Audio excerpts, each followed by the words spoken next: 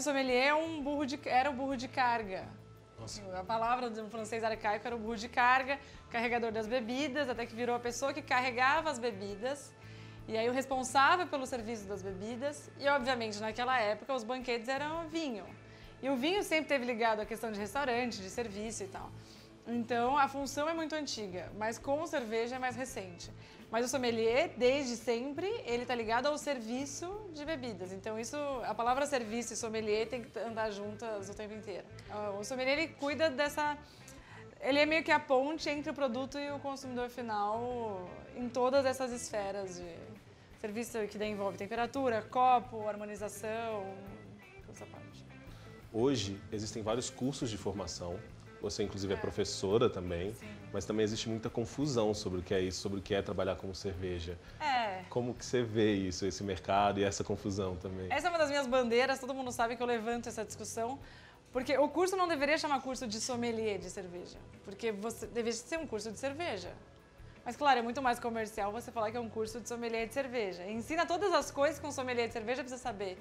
É, porém, eu sempre falo, se você é um médico e fez um curso de sommelier de cerveja, você vai continuar sendo médico. Você não virou um sommelier de cerveja. Sim. Porque sommelier, sommelier é uma profissão, é, foi sancionado isso em 2012, então você pode ser registrado como um sommelier.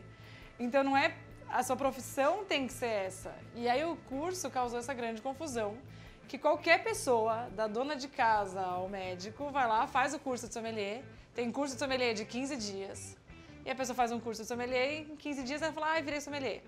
Aí ela chega na mesa e fala, ah, você gostaria de alguma ajuda, alguma sugestão? Ai, não precisa, sou sommelier. Eu falo, ah, que incrível. Tipo, onde você trabalha? Minha primeira pergunta é, onde você trabalha? Se essa é a sua profissão, onde você trabalha? Ah, não, eu fiz um curso e tal. Eu falo, ah, tá bom, ótimo. Você não é sommelier, você é médico, publicitário. Ou então você é um médico que entende muito de cerveja. Agora, sommelier é uma profissão. A gente fala bastante da consciência gastronômica, porque tem muito cervejeiro que só gosta de cerveja, só fala de cerveja e aí fica falando, ah, porque fica xingando a cervejaria tal, porque o outro toma cerveja com milho, porque ah, não sei o que tem conservante. E aí você chega no bar dessa pessoa e tem um prato com aquelas caldas em pó, vai? Para não falar os nomes exatamente. Sim.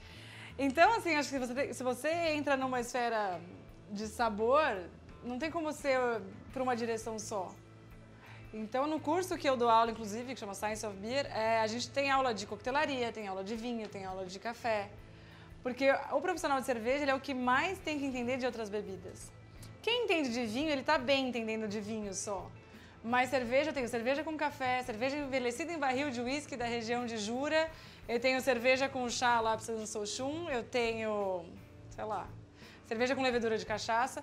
E então o cervejeiro, ele tem que entender dessas outras bebidas também, porque senão o que, adianta você só entender de cerveja, só falar de cerveja, e aí você vai falar de harmonização, a pessoa comeu arroz e feijão a vida inteira e não gosta de nada, não gosta de provar coisas.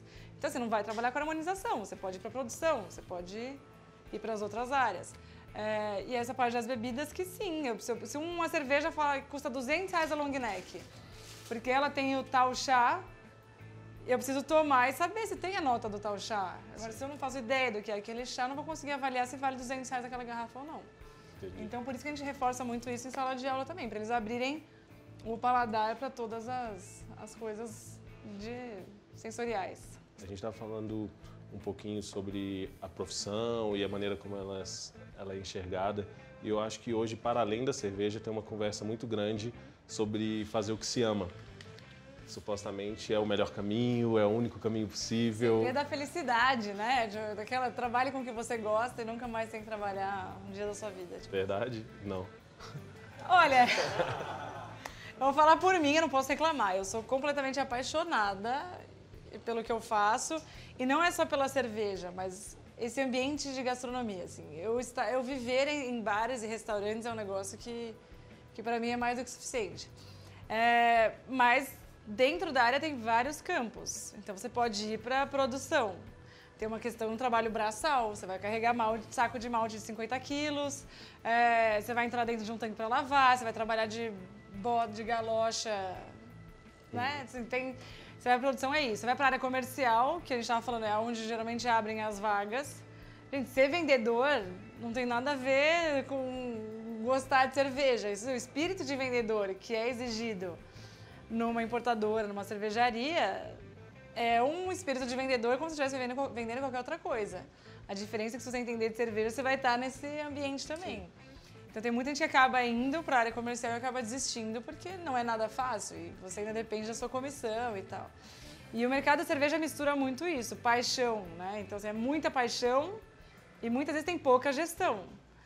E também tem muita gente que, que eu falei, ah, me manda mensagem no Face. Ah, eu vou lá. Ai, nossa, que Carol, tô querendo largar tudo e trabalhar com cerveja. Falou, falou largar tudo, falou, não, pelo amor de Deus, não larga tudo. Espera. Tenta fazer um processo de transição, porque o mercado ainda é muito pequeno. Esse universo de cervejas que a gente fala é menos de 2% do mercado. A, essa parte milionária da cerveja são esses outros 98%. 2% do mercado só.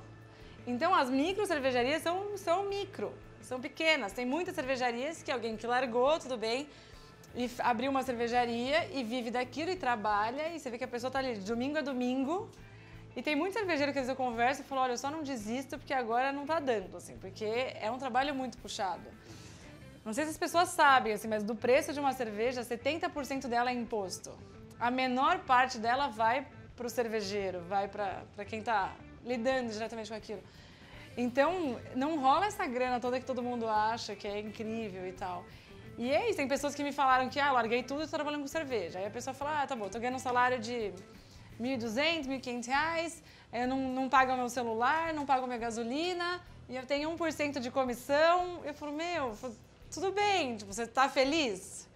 Eu acho que se você tem 20 e poucos anos, não tem filho, não paga aluguel, sei lá, acho que a hora é agora. Vai lá, se mata porque eu também falo, eu comecei assim, eh, meu primeiro trabalho foi ser garçonete. Eu pego minha carteira, meu registro era 524 reais na carteira.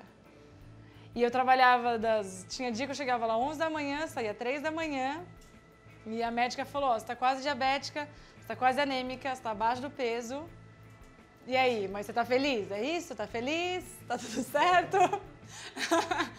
e eu morava longe ainda, eu tinha um acordo com um taxista, porque eu tinha medo de a gente tem medo, a gente tem medo de sair de três da manhã. E eu gastava sei lá o quanto de táxi para ir embora, e... mas assim, é o começo. E eu tive que passar por isso para chegar aqui hoje. A chegar aqui, né, gente? Chegar aqui, vamos, peraí. Eu só. Super, eu só não tô passando esse perrengue atualmente, mas... Eu continuo tendo problema com peso, eu continuo tendo problema com imunidade, eu continuo com tudo isso. Não tenho vida pessoal, se eu tivesse casada com filho, alguém já tinha me largado, tranquilamente. Então, não tenho... Então, é, não tem... Não, é uma área que é difícil porque... Acho que talvez se eu tivesse essa carreira, esse histórico no direito, na publicidade, talvez eu estivesse muito mais confortável do que... Uhum. Eu trabalho com isso há 10 anos e... Claro, a gente tem, a gente tem questões de, que você quer da vida. Mas assim, não tem uma, não é uma vida uhul, e tô aqui 10 anos, tá tudo sossegado, vamos lá, mercado cervejeiro, todo mundo rico, tipo, não. E a grande confusão é que muita gente que tem cervejaria já era muito rico.